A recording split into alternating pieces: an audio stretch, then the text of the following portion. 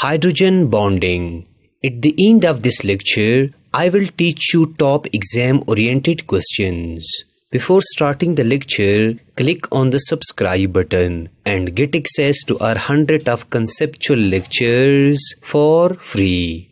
Now what is hydrogen bonding? Well, consider a single molecule of hydrogen fluoride. We know that hydrogen and fluorine atoms are chemically combined due to covalent bond. Hydrogen and fluorine atoms mutually share one pair of electrons and form a single molecule of hydrogen fluoride. And this molecule, fluorine is highly electronegative than hydrogen. The electronegativity of fluorine is 4.0 and the electronegativity of hydrogen is 2.1. When we calculate the electronegativity difference of hydrogen fluoride, we get 1.9. This is very large difference in electronegativity. As a result of this, fluorine atom being highly electronegative pulls the shear pair of electrons more towards itself than hydrogen. The electronic cloud tilt towards fluorine atom and partially negative charge appears on fluorine and partially positive charge appears on hydrogen. So therefore we say that hydrogen fluoride is highly polarized molecule.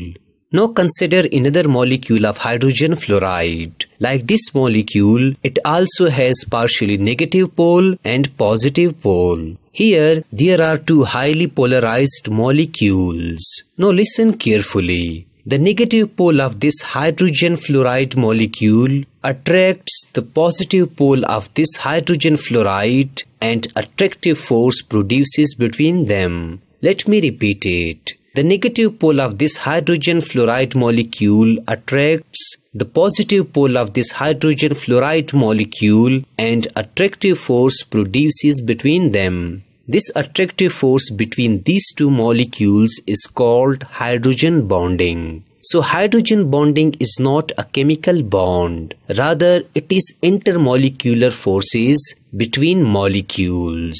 The word inter means between, thus hydrogen bond is attractive force between molecules. Also remember that covalent bond is intramolecular force. The word intra means within, so covalent bond is a force within atoms. Therefore, remember that hydrogen bonding is the attractive force or intermolecular forces between highly polarized molecules like hydrogen fluoride. Now, let me ask you Does hydrogen bond exist in all hydrogen compounds like methane, ethane, and propane? Well, the answer is absolute no. Hydrogen bond doesn't exist in these compounds because carbon is less electronegative. For instance, let we should calculate the polarity of carbon and hydrogen bond. The electronegativity of carbon is 2.5 and the electronegativity of hydrogen atom is 2.1. When we calculate the electronegativity difference between these two atoms, we get 0.4. It is very small difference. The bond between carbon and hydrogen is non-polar. So all these molecules are non-polar and hydrogen bond doesn't exist in these compounds.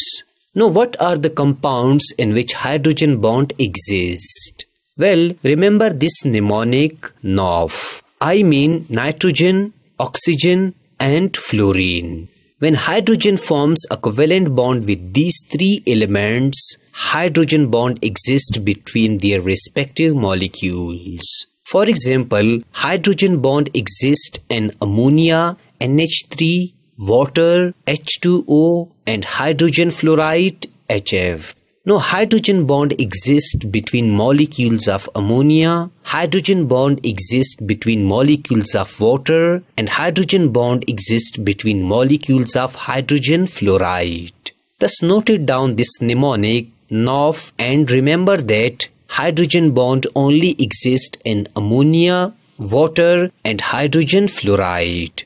Now let me teach you some bullet questions regarding hydrogen bonding.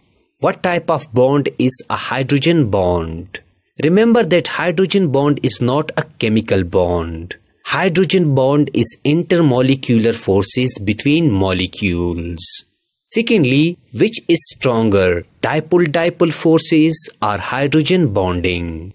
Well, both hydrogen bond and dipole-dipole forces are intermolecular forces between molecules. But remember that hydrogen bond is the special type of dipole-dipole forces. Hydrogen bond is 10 times stronger than all dipole-dipole forces.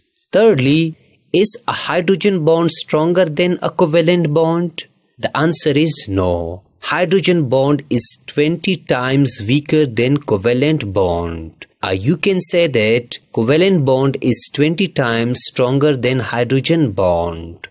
Fourthly, why does water have a high boiling point than hydrogen sulfide?